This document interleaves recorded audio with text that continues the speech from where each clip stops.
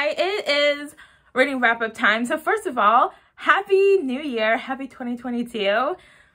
I'm not to say the same thing I said last year, even though I remember what I said last year. I'm very tempted, but I'm not to do that to you. So uh, yeah, it's reading wrap up time. So I'm to talk about what I read in December and talk about what I'm planning to read in January. So last month I had a goal to read five books because I wanted to read 75 books total for the year 2021. And my reading goal was 53 books, but I was like, why not shoot for another number if I can? And I picked kind of easier books to read um, because I was just feeling a little ragged by a few books that I've read um, between October and November. So I'm happy to say that not only did I read five books, I read six books, but I'm feeling revitalized and I'm feeling excited about reading because I had a really good reading month. So let's get started. I have my notes. So, the first book I read was A Christmas Carol by Charles Dickens. I listened to the audiobook. I had this out because the story is in here and I read some of the story in here and then I also read um, some Christmas poems for Christmas. But anyway, but I'll put the picture of the audiobook here. And this was five stars. This is fantastic. I loved this. It was so cozy and Christmassy and it actually motivated me to put up some Christmas decorations. And I was kind of hoping it would kind of lift my spirits. Not enough that I wanted to be around people on Christmas, but enough that I was happy on Christmas. And it actually did that when I was super surprised. anyway it is it really reminded me of the Muppets Christmas Carol. It really warmed my cold, grinchy heart. And it made me really happy. So yeah, this is amazing. You either know what this is about or you don't. I'm not going to explain it. Okay. But it also gives me a newfound appreciation for the adaptation that the Muppets Christmas Carol did because it was very similar to the original material, just like they left out a few things. So it was really nice to get like the entire story. And this ended up being my favorite read of the month because anything that gets my heart to feel lighter is amazing. Also, this book is really pretty. Just, what? Just look at it. So the next book I read was a poetry book and that was The Lost Spells. And this is by Robert Macfarlane and Jackie Morris. And yeah, this is 50% art. Might be like 60% art. Look at that. Gorgeous watercolors. And there are different lines of verse about different animals and plants and trees and stuff. And I thought it was, I thought it was good. It was very cozy. I didn't get all of the poems. Maybe I would if I was more familiar with the animal. But I actually did feel like I learned something about a few animals and also some trees and the flowers. And there were definitely like a few poems I just thought were absolute gems. And I was like, wow, that's so deep and insightful. and I just absolutely love them. So overall, I gave this four stars. And that was beautiful. And it was very relaxing, which is what I wanted it to be and what I needed. Yeah. And then uh, next I read Beneath the Moon. This is Fairy Tales, Myths, and Divine Stories from Around the World by Yoshi Yoshitani. And this is exactly as it sounds. Is an anthology and every single page we have this beautiful artwork and then we have a summary of the story. And I gave this five stars. And it was beautiful. It was lovely. Um, there were some things I've never heard before, some things I have heard before, and some things I really wanted to read. I was really interested in seeing what the story was about. So, for example, turned out I marked some of my favorites with these blue tags. You can see a few of them here. But yeah, I marked all my favorites. And I really like the way she summarized the Snow Queen. But yeah, this was, this is, this is great. I love fairy tales. And I thought she did a really good job summarizing some there were a few stories that are like kind of complicated so i thought she did a really good job of summarizing them in one page without leaving anything like major out that was a really good adaptation and yeah it was just beautiful to look at as well I had a really fun time with some of these because this is just one example, but you see how long these names are. There was there was one name, um, I don't remember what story it was, that was like several syllables long. And so that was part of the fun of reading this book is seeing the names and deciding if I was going to try to pronounce them, if I was just going to look at them. Because, and sometimes I would just have to shorten it. But this was really fun and I loved it. Yeah.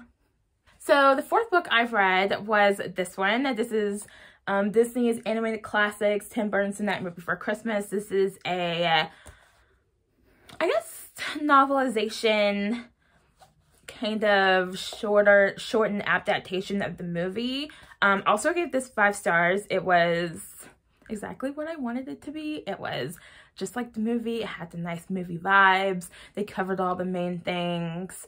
And they included um, like artwork and the pictures of puppets that they used in the making of this movie. If you don't know, this is one of my, one of my favorite holiday movies. So this is some of the sketches that they included. And this is a picture of some of the puppets. So this is Jack Skellington, obviously. And it's just amazing how much work went into this project, you know?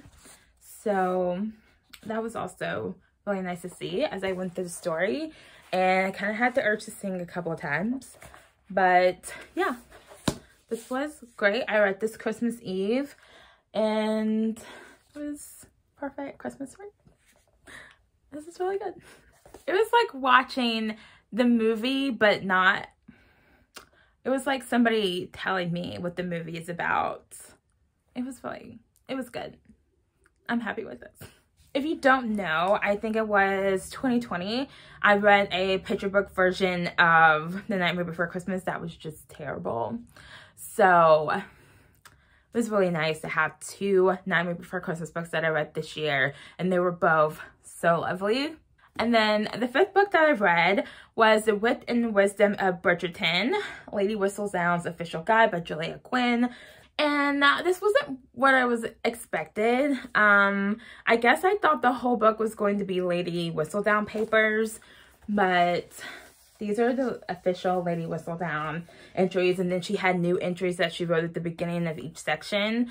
And I thought the whole book was going to be like Lady Whistledown pages with like maybe small sections of context. And that's not what it was. It was mostly snippets from other books and a few Lady Whistledown entries. And then like this nice section where she pulls out quotes from family members. Um, he only got two, but other people got more. But people summarizing their like personalities. Um, Benedict according to his family. Um, I thought it was really good though. I feel like I got the gist of all the books and I thought she did a good job of, there's a lot of people, so I thought she did a good job of keeping everybody ordered and organized. And so I felt like I could keep track of all the different people because there are eight siblings and then like all the siblings also get married. So there's also eight other names to keep track of. And there's also Lady Danbury and there's also um, Lady Bridgerton, their mom. So we have 13 people total. I love Lady Danbury. And this made me love her even more. So I gave this four stars. I really enjoyed this. And this book was absolutely beautiful to look at. And she let you know which book um, certain quotes were coming from. But yeah, really like this. And I'm looking forward to season two of Bridgerton because I like Anthony. He kind of grew on me over the course of season one because at first I was like, this guy is terrible. But I started finding it hilarious after a while, just how much he sucked at everything. So yeah, this was this was nice. And I feel like I got to know Kate some too. So I'm really excited to meet Kate in this next season. I'm not going to read the books. And the last book that I read was The Other Black Girl. This was by Zakiya Dalila Harris. And surprisingly, I just knew going into this book that this is going to be a three-star read for me. I gave this four stars. Let me try to summarize kind of this book without any spoilers. so this is about this girl, this black girl, and she is an assistant editor assistant to an editor at this publishing house at this big fancy fictional publishing house and she's been working there for two years and she's really ready to be promoted to an editorial assistant where she would get to like have her own books and everything. And one day this other black girl starts working in the office named Hazel and our main character, Nella, is like so excited, too excited about this other black girl. And it's very obvious from the get-go that this other black girl is sketchy as hell. So most of this book is pretty boring. So for the first like 60% of this book, I was interested to keep going because there were like snippets of interesting things happening, but I was also like really bored at the same time. And I was bored because like not much was happening. And so the story was boring, which normally I'm fine with. But Nella, our protagonist, was also boring. And so uh, Nella is not the only point of view character. We also get first person accounts from a few other people that's kind of scattered. Anyway, each of these different characters, like Nella's point of view is in third person and these other characters point of views are in first person. And they're all labeled so you know you know whose head you're in when it gets started but i think there's three different people. There's i don't want to say anybody's name in case it's kind of a spoiler we have this one woman she has a few um i want to say maybe three or four and then this other woman she also has like three and then this um younger girl who I think is in her mid 20s like our main character. She has like four or five. Anyway so what made the book boring? And so I wasn't like motivated to read it all the time. I did read some almost every day but I wasn't like motivated to read until we got to like the last 40% because like Nella herself is incredibly boring. All she does is go to work and then go home and talk about work and I didn't find her work interesting. I didn't find her interesting. She was very, very obsessed with being black. And I was kind of suspicious by how obsessed she was with her own blackness. But by the time I finished the book, I was kind of like, you know what, this is actually kind of brilliant because because she was so obsessed with him, and she was like, she was exhausted. Like, she's like, I'm black, I have to work three times as hard as everybody else. And she was working three times harder than everybody else. She was running herself ragged. She was running herself into the ground. She was stressing herself out with the news. And it was just like, what I found a little annoying in the first half of the book became like this aspect of the book that, yes, I think is kind of brilliant by the time I finish because it just makes so much sense. And then like Hazel, Hazel was hilarious. She was like, oh my gosh, she had like at least three different personalities over the course of the book where she's like super down, like I'm your friend, girlfriend, sis, whatever. And then she's like um super like throwing Nella under the bus. She's just like the perfect black girl. And Noah is so jealous of her and it starts to drive her crazy and make her want to work even harder she's already working. And then everything like kind of, the last 40% of the book actually goes by pretty quickly like they had the date at the beginning of most chapters but i had to keep going back to the previous chapter to see how many days it had been because like i didn't remember what the previous date was so everything kind of like comes to a head in the very last chapter and Hazel and Nella kind of have this very weird conversation in a bathroom and then we have this epilogue. And I ended up giving this book four stars because I was like this was hilarious. It was hilarious. It was so weird. It was weird. So I categorize this as horror because I don't know how else to categorize it. Like, it's gotten compared to be like The Devil Wears Prada, but in publishing, you know, meets Get Out. And I kind of agree with some of the reviews that I read. It's definitely more Gets Out than The Devil Wears Prada, but I do see like where they were coming from with the Devil Wears Prada thing. But anyway, it's very... it's very weird. I didn't know what was going on. Like, I didn't call it early, is what I'm saying. I called it um, around the time they started, it started they started to reveal more information and they started talking about a very specific thing. And then I was like, okay, so it has something to do with this. But I still didn't know exactly what they were doing until they told us. So that was good because I'm not disappointed when I'm right, but it's always fun when I'm not, you know? And so yeah, I would say that this is a this is a very weird book. It's a very weird book. It's kind of stupid, but it's also kind of brilliant and hilarious at the same time. The ending definitely lifted the ratings from three stars to four stars because I just thought like the last, you know, 40% of the book was very interesting and I wanted to read and I was motivated to read it and I got it done pretty quickly after that. Liked it. I am left feeling like I liked this book. It was, it was strange. and I want to talk about it. but yeah, that's basically what it's about. It's about Nella and she works in a publishing house and there's this other black girl and she starts getting competitive and everybody loves Hazel. Like she's, like I said, she's perfect. She gets along with everybody. She always knows exactly what to say. She's so stylish. Her boyfriend's so cute. Her life is so great, you know?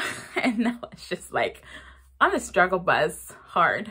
And it was, I ultimately ended up thinking that was so fun and hilarious and definitely can see where the Get Out comparison is coming from. And I do get the Devil Wears Prada comparison a little bit with, you know, them being competitive and wanting to fit in and wanting to be at the top and wanting to be the best and everything. And kind of compromising, like Nella at some point starts compromising her values and like everything that's important to her, her relationships, um, for this job. so I do get it it was fun. I'm surprised. I almost didn't pick this book up and I'm so glad I did because it was, it just put me in such a good mood because I just thought it was hilarious. The concept of this, this the, the part that's a spoiler, is so hilarious to me. Plus it's just like kind of unique and different and I just haven't read anything like this before.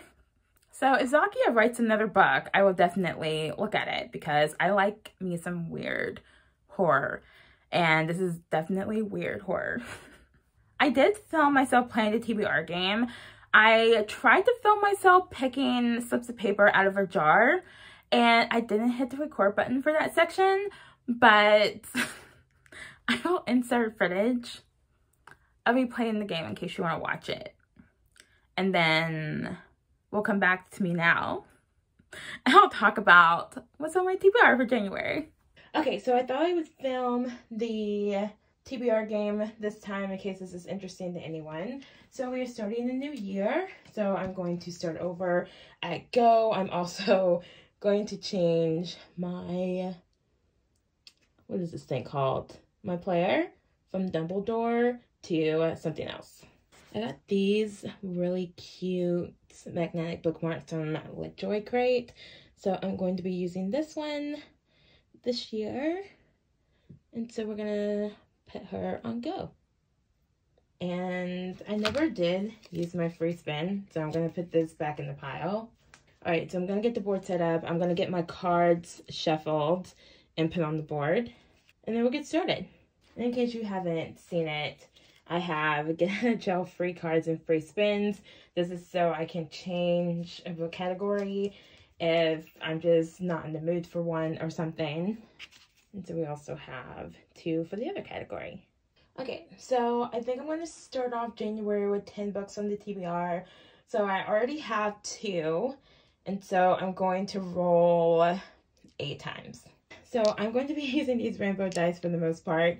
And every third spin, just to keep things interesting, I'm going to use this um, 20-sided die. So spin number one. Seven. Okay, so right off the bat, we get an intimidating book, which is from this pile. Oh my gosh. I'll think about it. Um, I'm not I'm not gonna worry about it just yet. I think if I roll a double, I get a free spin. I forgot my own rolls. Okay, I just checked. I am right. If I roll a double, um, I can probably change that. But the good thing is I have a limit of one intimidating book per game. So, well, number two. So we get four. Okay, so number two is a retelling. So number three is nine.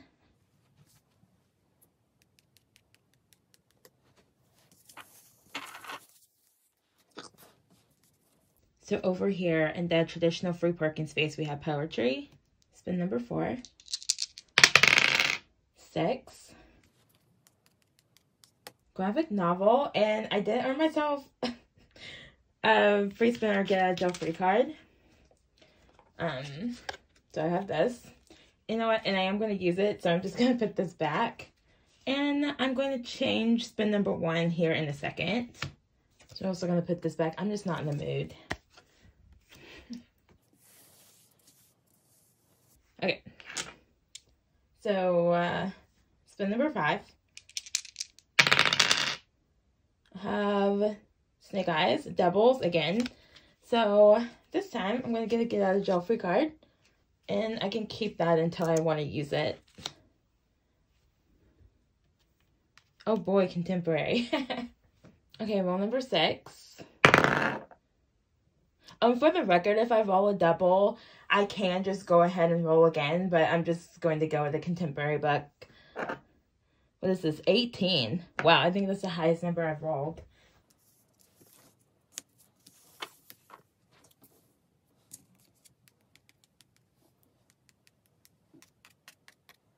Okay, this is a priority read. This is a book that I said I wanted to read this year. Okay, well, number seven six. A popular book. This is a book that I've heard a lot about personally in the writing circles that I run in. 100% chance that's going to be a YA book. Rule number eight. Nine. Okay, five plus years. This is a book that has been on the TBR for a while for at this point, I think everything in that jar has been on my TBR for five years as of the end of last year. So our bonus spin, we're going to use this dice. And I got a three. And another book that's been in the TBR for a while. This is great. So I will get those jars and we'll see what's on my TBR.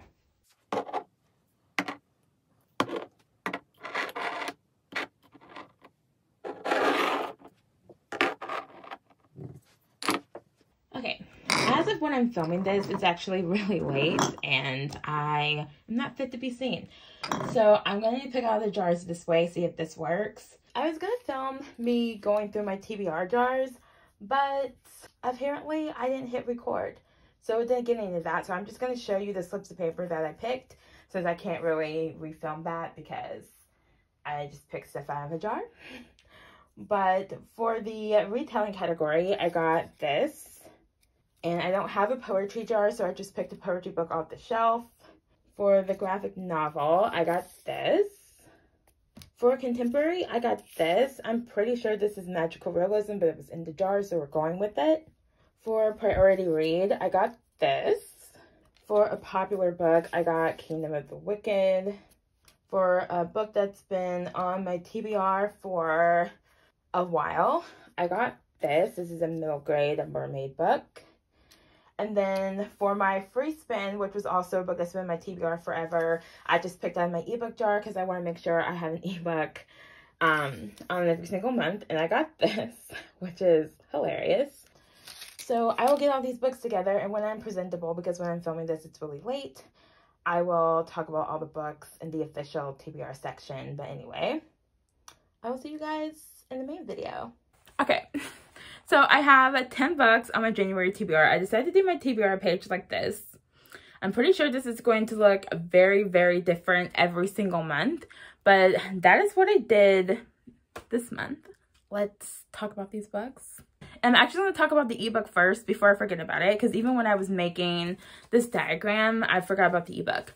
So the ebook I picked out was for the prompt, a book that's been on my TBR for a while, but I was at the last prompt and I hadn't picked an ebook yet. So I decided to pick an ebook for this prompt. And this book has been on my TBR for at least three years. Um, I think I bought it about three years ago. so it also kind of fits the prompt. And I also get an ebook on my TBR because I want to have an ebook on my TBR. At least one every single one. Because I want to get through that ebook TBR. And that is The Rose by Tiffany Reisz. And I read The Red by Tiffany Reisz. And it was an uh, erotic fantasy. It was hilarious. So funny. So I was like, oh, that was fun. Let me get the rose. So I'm pretty sure this is the same thing.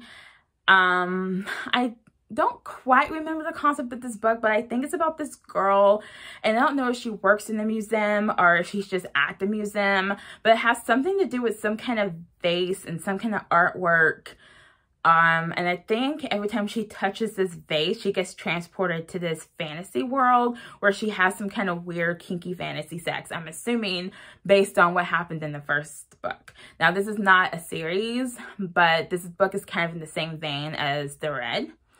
So I'm expecting it to be weird, but also fun and probably a little hilarious and ridiculous at the same time. But I didn't have a preference for what each book to read next, which is why I play this game and I have my random TBRs. So that's the first book on my TBR. Not the first book on my TBR, but that's the ebook on my TBR. So next getting into the physical books. The graphic novel I picked, and I did land on graphic novel as well, but I also want to have a graphic novel on my TBR every month as well is Bloodstain. This is by Linda Sejic.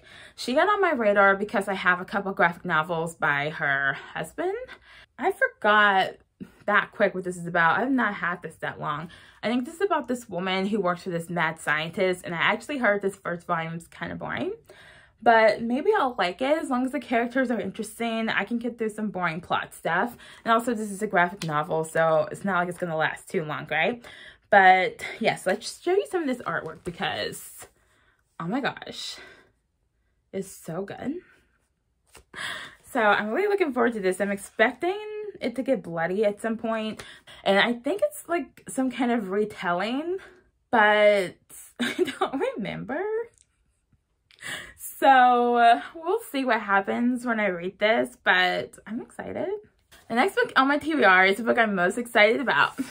And this is a novella. This is Come For Me With Apples by Catherynne M. Valente. I'm pretty sure this is going to either fall into the weird horror category or some kind of very weird literary fiction category. Um, it's giving me Stepford Wives vibes, but I don't know that much about it. but I saw this cover and I kind of heard the concept and I was like, that sounds really good. It's very short. It's like a hundred and one pages or something. But basically what this book is about, it's about this woman, what's her name? Sophia. And like the blurb online says that her life is perfect, that her life is perfect, her husband is perfect, everything is perfect, the neighborhood is perfect. And, but there's something strange going on. And I think that there's like a room she's not allowed to go in yeah, there's a locked basement that she's never allowed to go in. And whenever she asks the neighbors, they can't quite meet her gaze. But everything is perfect, isn't it? It just sounds so weird and so my alley. So I'm very, very excited about this. So, high expectations for this. We'll see what happens. So I landed on the poetry. So my poetry book that I picked was When the World Didn't End poem poems by Caroline Kaufman and I read what Light Filters In. So I think she's like an Instagram poet, but I liked her last poetry book. So when I saw this one, I just went ahead and picked it up. So finally reading this.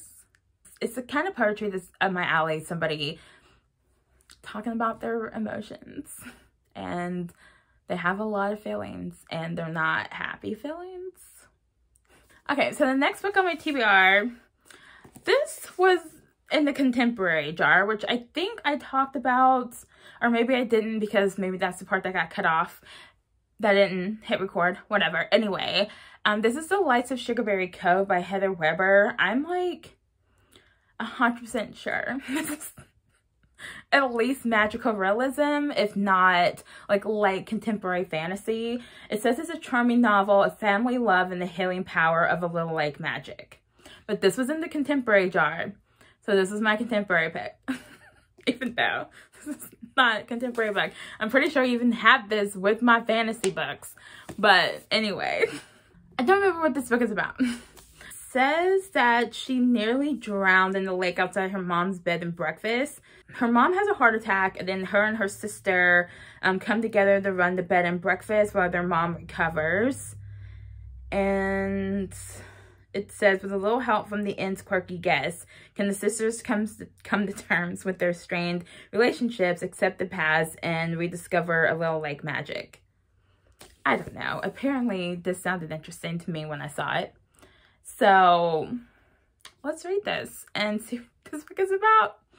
And it's not too long. It seems charming and heartwarming, which is you know, not something I would normally pick up, but I thought it sounded interesting. So here we go. So um, I think this was the other book that I picked for the book that's been on my TBR for a while. So I picked May by Kathryn Lasky. This is the second book in her, I guess, mini series of mermaid books. And I read the first one, Hannah, and I loved it.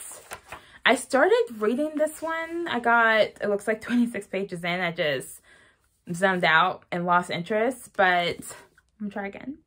So all I know is this girl is a mermaid and I think when they turn 15, they have to decide if they're going to stay on land and be human or if they're going to go to the sea and be a mermaid because they can't do both. And so we'll see what choice this girl makes probably a different choice than the first girl made. but we'll see. And that's all I know about it. And this has definitely been on my TBR for a while. Okay, the next book I picked, I think this was in the retelling jar. Probably the the the lightest, least retelling is book on my shelf and of course it's the one I picked. This is The Raven's Tale by Cat Winters and the blurb says when young Poe, Edgar Allan Poe, meets his muse the world will change forevermore. So that's why I picked this up because I thought this was an adult book and it was YA and I was upset so I didn't read it at the time I picked it up but I still want to read it. which is why I still have it. So I think this is just about young Edgar Allan Poe talking to his muse. And I think his muse is like, I guess kind of like a spirit or something that he can see and like interact with, but it's not really there. It's like in his head. I think. I don't know what to expect. I've had this book for a while. I say that and I'm looking in here and it said the book came out in 2019. Why do I feel like I've had this book for seven years? Anyway, it's on the TBR now, so we're going to read it. And then the book that I picked out of the popular books jar was Kingdom of the Wicked by Kerri Maniscalco. And I've heard a lot about this book, which is why it's in that jar. And I'm excited. I did read a little bit of this last fall. And I'm like, wow, I'm really not in the mood for this. So I'm like, let's try again later. And I may have been burnt out on YA. I don't know. Because I'm pretty sure I didn't read any more YA um, after I tried to read this book. But anyway, I've had a break. So let's read this. If you don't know what this is about, this girl has a twin sister and her sister is slaughtered. it's basically how it's described. And she summons a demon prince from hell to help her track down her sister's killer and get revenge. Sounds really fun. Definitely not something you want to take too seriously. That if memory is serving me correctly from when I was reading it before because the character um, has the emotional depth of a teaspoon. so, so we're not going to take this seriously. Should be really fun. This is the Barnes & Noble edition, just FYI. And then speaking of YA, I picked this book out of the priority reads list. I've been wanting to read this book for a while. My, if you saw the book calls I posted last year, I actually picked up book three from Books a Million because I thought it sounded really interesting. And then I got it home and I was like, this is book three. And, but instead of taking that book back, I was like, you know what? I want to read the series. So why don't we just get the other two books? So this is book one. I don't remember what this is about. So Last Magician by Lisa Maxwell. All I know is that it sounded really interesting. It was something that I wanted to read. But this bolded part of the blurb says, Stop the magician, Steal the book, save the future. And it takes place in modern day New York. That's all we need to know. And then the last book on my TBR is The Ballerinas. This is by Rachel Kapelke Dale. My sister read an arc of this book and did not like it, but I still think it sounds really interesting. I want to read it. So I picked this up. It's about, I think they're sisters and they were ballerinas when they were younger and now they're adults and they're on the struggle bus and one of them is married to an ex ballet ballet dancer and he got hurt or something and he's also on the struggle bus. And i don't know it just sounds interesting to me. It says you on the back it says you start out perfect and you become something else. I don't know. I guess it's like dark contemporary. So if the Lights of Strickleberry Cove doesn't count as a contemporary book, this definitely does. But apparently somebody has a secret that can ruin everyone's life. So we'll see. Anyway, this is on my TBR. But anyway, so these are the physical books on my TBR plus the Rose. And I'm excited excited to start reading this stack. And yeah, I'm really happy I had a great end to my 2021 reading because I'm really excited about, I'm excited about these books, but I'm to be reading this one first. And then we'll just go from there and we'll see what happens. I did follow my TBR for December. Surprisingly, I read every single book that was on my TBR. I think that might be the first time in all of 2021. The only time in all of 2021 that that happened, that I've read everything on the TBR, but there's only five books on there officially. And I'm excited. So, you know, we may read these books, we may swap them out for something else. I don't know. I just go where the wind blows, you know? But anyway, that's all for this video. And yeah, I will see you guys next week. I think I'm going, I'm going to try to do a video where I rank everything I read in 2021. If for some reason that doesn't work, then I'll just talk about my top seven reads and my bottom like five or seven reads or something and be done with it. But I'm going to try to rank everything. We'll see if that works. Okay. Anyway, that's all for this video. And I will see you guys next week. And yes, happy New Year. Happy 2022. And 2022 is the year of the tiger. I don't know when that starts, but I'll look it up. And yeah, I will see you guys next time. Bye.